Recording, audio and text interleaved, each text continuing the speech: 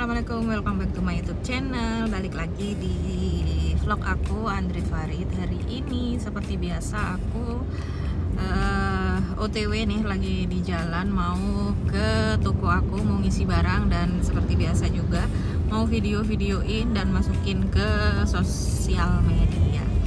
Nah, buat kalian yang baru masuk di channel aku, salam kenal aku Andri Farid dan vlog ini tentang keseharian aku daily vlog gitu.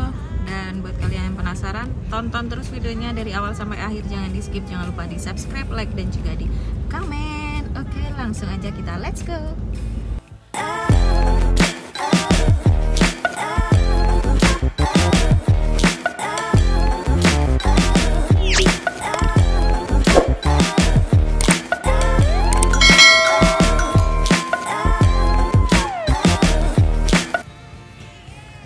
Oke okay guys, nah ini aku udah sampai di toko aku dan waktunya ngisi barang. Dan ini e, baru keluar dari laundryan, jadi aku sortir dulu ya guys. Aku pisahin untuk yang barang masih e, like new, aku pisahin. Untuk yang udah agak buluk gitu, aku pisahin juga guys. Dan ini sambil apa namanya? Sambil misahin, sambil ngitung juga guys dan ini tuh. Aku dibantuin sama tiga admin aku ya.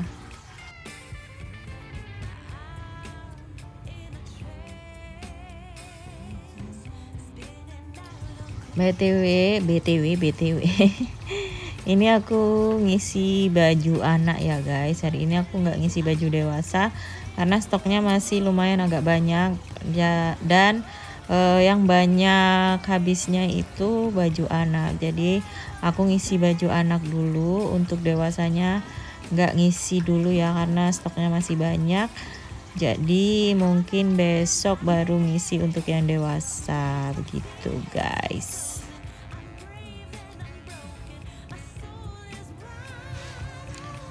Oh ya guys, nah untuk kalian yang baru gabung di channel aku, selamat datang dan salam kenal ya. Uh, ini kalian masuk di vlog aku. Uh, vlog uh, daily vlog gitu daily life gitu. Kegiatan sehari-hari aku seperti apa dan apa aja kegiatan aku. Pokoknya daily vlog gitu ya guys. Dan ini aku emang setiap pagi selalu ke toko ngisi barang ngevideoin barang gitu guys. Itulah pekerjaan aku setiap hari ya. Dan eh, ini sebenarnya dua toko gitu ya guys. Yang satu itu baju baru dan yang satu ini satu lagi baju thrift gitu. Tapi ini aku jadiin satu aku bobol gitu guys untuk apa temboknya. Jadi satu pintu gitu. Tapi ada dua macam uh, apa ya dua macam dagangan gitu yang satu barang baru dan yang satu itu barang thrift gitu guys. Dan untuk pakaian thriftnya ini ini aku pasti selalu laundry ya. Laundrynya tuh nggak cuma diuap nggak seperti di tempat lain biasanya cuma diuap aja. Kalau aku selalu pasti wajib lah itu. Pasti aku laundry cuci dan setrika uap gitu ya karena apa? Karena debunya itu aduh bikin sesak nafas guys betulnya. Jadi aku mau masuk toko aku itu barang yang aku display itu sudah bersih gitu ya guys. Meskipun itu nambah biaya sih e, nambah modal juga ya. Karena kan kita e, laundry nggak gratis ya guys. Itu bayar ya. Tapi kebetulan di sini tuh murah banget per kilonya hanya 4500 jadi satu bal itu aku cukup bayar 450.000 itu masuk di modal juga ya. Jadi aku masukin modal dan eh, apa dihitung modal per satunya berapa gitu. Langsung ditotalin gitu guys. Dan ini udah mau selesai nih sisa dikit lagi aku uh, sortir barang uh, admin aku atau karyawan aku yang gantung-gantungin nanti langsung ditembak. Dan kalau aku ngasih harga itu langsung uh, ini ya aku pukul rata gitu yang bagus-bagus. Harganya misalkan 30 30 semua gitu. Nanti kalau yang uh, apa agak buluk nanti cuman harga 10 atau 15.000 gitu guys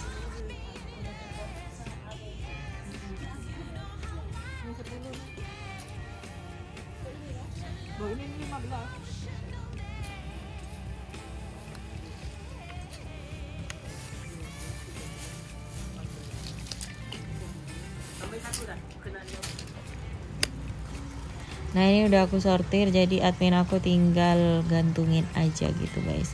Dan yang satu lagi eh, nge apa nembak gitu ya ngebarcode dan ini lanjut suami aku yang ngevideoin karena HP aku lagi di cas gitu jadi ini suami aku yang ngevideoin nanti dia juga yang masukin ke sosial media oke okay guys uh, sekian dulu video aku kali ini Semoga videonya menghibur dan bermanfaat untuk kalian semuanya. Thank you for watching. Oke, pekerjaan udah selesai. Kita waktunya mau pulang, tapi aku ini mau OTW dulu.